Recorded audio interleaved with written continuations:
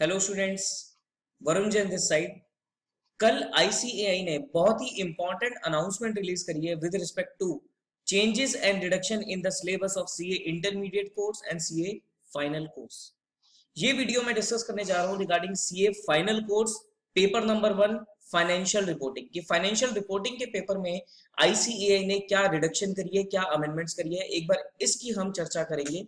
सो so, announcement में आप लोगों को मैं साथ साथ दिखाऊँगा. ये देखिए जी। Paper number one that is financial reporting की बात करें तो पहली चीज़ तो ये ध्यान रखिएगा सर ये अमेंडमेंट एप्लीकेबल है that is final new course के लिए है।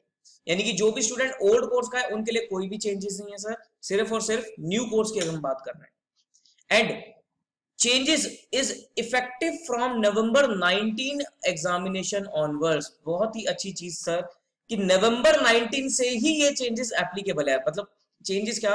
एक्सक्लूजन ही करी है आईसीआई ने राहत ही दी है, बहुत अच्छा मूव निकाला है। वो चेंजेस को उन्होंने नवंबर 19 से ही डाल दिया ऐसा कोई चक्कर नहीं डाला कि भाई नवंबर 19 में पूरा पढ़ो मे 20 में आधा दूरा पढ़ो। इंटरमीडिएट में ज़रूर इन्होंने ऐसा किया है बट फाइनल लेवल पे कोई कंफ्यूजन नहीं है सर नवंबर 19 से ही उन्होंने क्या बोल दिया कि रिड्यूस सिलेबस आप लोगों को पढ़ना है।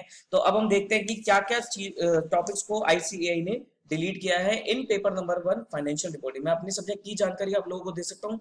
तो my subject is paper one financial reporting तो देखिए जी क्या क्या टॉपिक्स को एक्सक्लूड किया?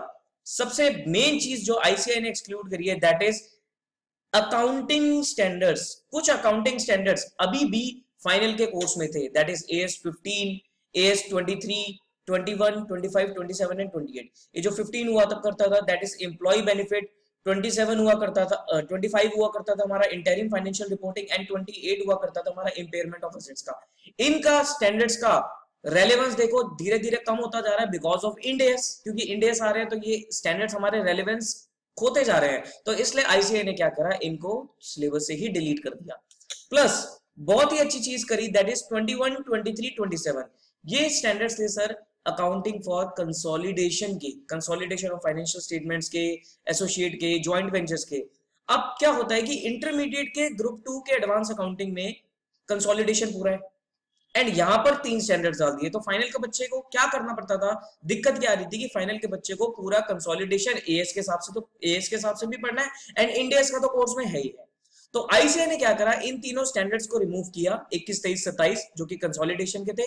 एंड इसी के साथ साथ हमारा कंसोलिडेशन एएस वाला खत्म हो गया। अब एएस वाला कंसोलिडेशन सिर्फ़ हमें इंटरमीडिएट लेवल तक ही पढ़ना है। फाइनल में इसको कुछ नहीं पढ़ना। तो बहुत मेन चीज़ क्या निकल के आ रही है कि सर फाइनल का जो कोर्स है, वो सारा का सारा entire course is Ind AS based AS based अब कुछ भी कोर्स नहीं है।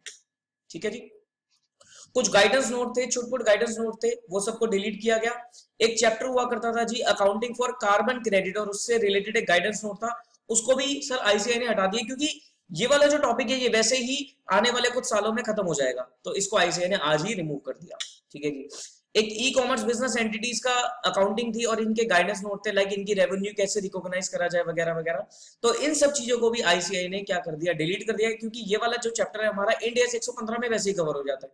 तो आईसीआई ने यहाँ से चैप्टर को हटा दिया गया। एंड एक ह्यूमन रिसोर्स रिपोर्टिंग का टॉपिक था, इसको रिमूव किया गया। एक बड़ा इंटरेस्टिंग और अच्छा टॉपिक हुआ करता था that is value added statement I don't know क्यों रिमूव किया गया, ये तो बहुत ही इंटरेस्टिंग टॉपिक था, और स्कोरिंग भी बहुत था, इसको रिमूव कर दिया गया। खैर, आईसीआई की बात सराखों पर। एंड कुछ हमारे ओपिनियन थे, चार एक ओपिनियन थे एडवर्स एक्सपर्ट एडवाइजरी कमेटी के, ये ओपिनियंस को हम स्टडी करा करते थे बट अब इसको भी स्टडी करने की ज़रूरत नहीं है। और एक चीज़ आईसीआई ने स्पेसिफिकली हाईलाइट करी है सर ये ध्यान रखना कि गाइडेंस नोट जो सीएसआर वाला है कॉर्पोरेट सोशल रिस्पॉन्सिबिलिटी का जो गाइडेंस नोट है, वो अभी भी एप्लीकेबल है। वो रिमूव नहीं किया। सारे गाइडेंस नोट रिमूव कर दिए, लेकिन सीएसआर वाला गाइडेंस नोट स्टिल एप्लीकेबल उसको रिमूव नहीं किया। ठीक है जी? तो ये चेंजेस थे हमारे paper number one financial reporting में एक बार दोबारा समअप करते हैं कि चेंजेस क्या आए हैं सर चेंजेस कुछ नहीं है रिड्यूस हुआ है syllabus from November 19 attempt onwards for final new course student ठीक है जी? नया कोर्स का बच्चा है नवंबर 19 या उसके बाद के पेपर है तो उनके लिए सिलेबस रिड्यूस हुआ है। क्या क्या टॉपिक्स हटे हैं? देखो, जो अकाउंटिंग स्टैंडर्ड्स थे, वो सारे हट गए। अकाउंटिंग स्टैंडर्ड कौन कौन से थे? पंद्रह पच्चीस, अट्ठाईस एंड ए एस इक्कीस, तेईस, सत्ताईस, जो कि कंसोलिडेशन के थे, वो सब हट गए। तो अब कंसोलिड चिंता करने की ज़रूरत नहीं है। कंसोलिडेशन फाइनल लेवल पे सिर्फ़ इंडियस वाला ही पढ़ना है एस वाले में चक्कर चक्कर में पड़ने की ज़रूरत नहीं है।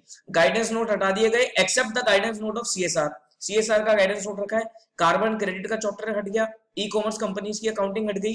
ह्यूमन रिसोर्स रिपोर्टिंग का चैप्टर हट गया वैल्यू एडेड स्टेटमेंट हट गया और चार ओपिनियन थे एक्सपर्ट एडवाइजरी कमेटी के, वो सब ओपिनियंस को भी रिमूव कर दिया गया। तो सर वेलकम मूव कहूँगा कि मैं आईसीआई की तरफ़ से सिलेबस को रिड्यूस किया है पास होने के चांसेस बढ़ा दिए हैं and I really appreciate ICAI की उन्होंने बहुत ही जल्द इतना अच्छा डिसीज़न लिया।